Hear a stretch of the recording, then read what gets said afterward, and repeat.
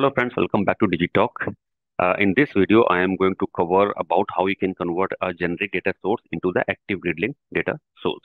Apart from that, I will cover a uh, few important properties of your active grid linked data sources what are the benefits of that if you are going to use that one?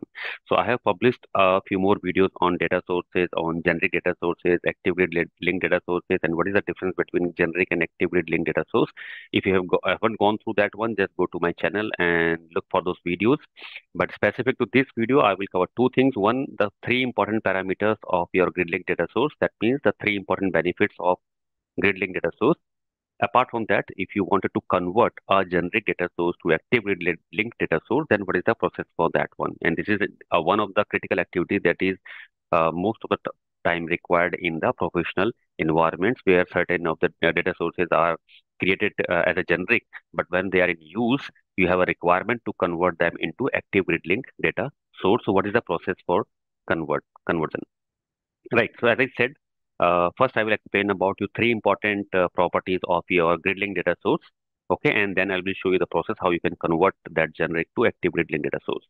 So the first property is fast connection failover. Okay, so this active grid data source is specifically designed to work with the Oracle RAC cluster.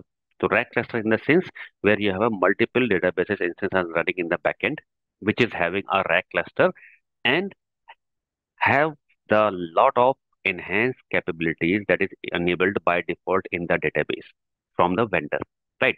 So if your WebLogic want to take the benefits of all of those technologies that are that has been enabled in your database for that there has been certain features that is get enabled with the help of active grid link data source so that your application that can take the benefit of all those features of the database okay so one of the service is notification services Okay. So for when we define an active grid link data source, so your data source, if you are defining an active grid link data source, for that we define a notification uh, uh, service uh, port, okay, uh, that your WebLogic data source continuously ping, okay, or you can say that your uh, database automatically take the status of the instance, running instances or the down instances, and with the help of notification services, it update to the data source.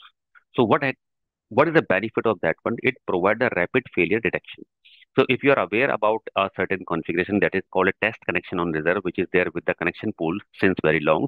So that means if you your application need a connection from the connection pool, then you have a test connection on reserve properties there. If you will enable that one, then your WebLogic server will uh, test a particular connection if it is working or not before handing over this to the application.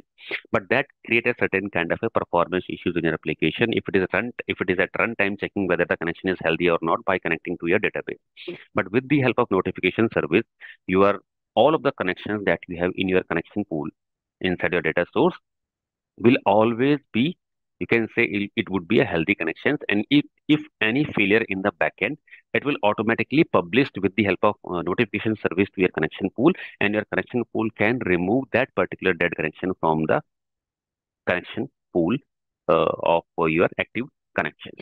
Right? So in that case we are not using the test connection on reserve so what is happening is that it is automatically uh, uh, updating the healthy connections in your connection pool with the help of your notification service. And this adapt to change in topology such as adding or removing a node. So for example, if you are adding or uh, uh, scaling your database and then to, to me today you have a two instance of database tomorrow you will have a three or four so if you're scaling your database instances of RAC instances in the backend then the newly added connection okay the newly added database instances will get automatically populated in your connection pool.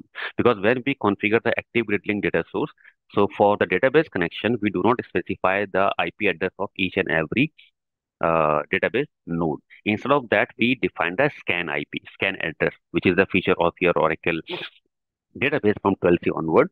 Okay so instead of of of, of multiple ips we specify only the scan dns name in our uh, data source configurations and that particular scan is automatically mapped to all of the running database instances in the backend right so every time you are adding any instances in your RAC okay it will automatically get populated in your connection pool and it distribute runtime work requests to all active Oracle RAC instances, including those rejoining the cluster. So whatever number of instances you have in your database RAC node, it will get automatically load balance the connection to each and every instance in your RAC database.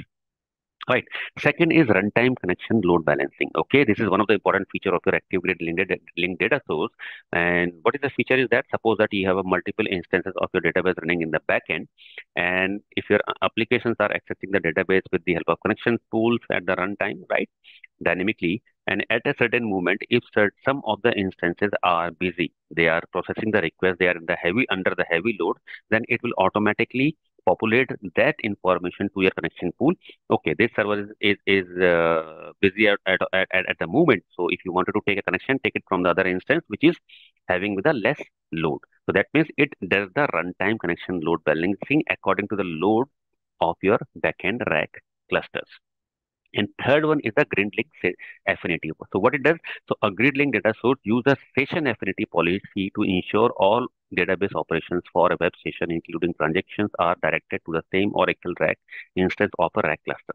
So this feature is similar to session uh, session uh, uh, uh, session replications, or you can say about the session options you have in your WebLogic server, or session affinity you have in your WebLogic server, which you can achieve with the help of load balancer, where if you have connected to any of the backend managed server, then every time that particular user initiating the request, it will be connected to that particular backend application server.